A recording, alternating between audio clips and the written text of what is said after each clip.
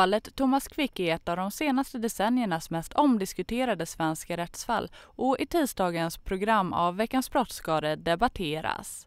Kriminologen Leif GW Persson går hårt åt Göran Lamberts som 2006 när han var justitiekansler kom fram till att inga fel gjorts i Quick-domarna. Hur gick det här?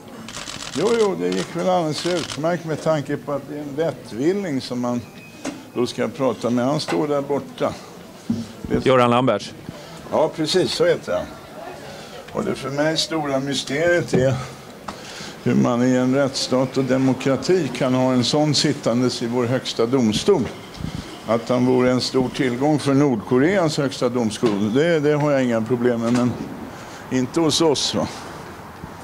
Så att, det stör mig. Blev det mycket konfrontation mellan dig och... vet jag inte, det beror väl på vad man har för anspråk.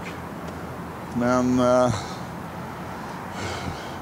det är knepigt att, att diskutera med en människa som i en psykisk mening är helt obegriplig och som sitter bara och ljuger rakt upp och ner.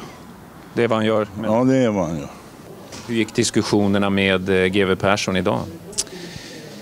Ja, det var det här som jag har sagt nu. Han menar ju att jag eh, eh, inte har någonting att komma med, att jag inte talar om fakta.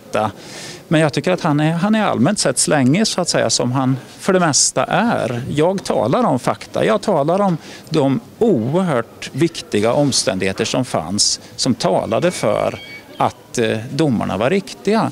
Vi hade en psykiatrisk diagnos att eh, Thomas Quick, Sture Bergvall, var en mycket farlig person. Han var pedofil, han var sexualsadist och det fanns de som gjorde bedömningen att det skulle varit konstigt om han inte hade begått allvarliga brott eh, efter det där. Va? Och sen så har vi alla de här omständigheterna som utgör starkt bevis och som av domstolarna just bedömdes vara starkt bevis.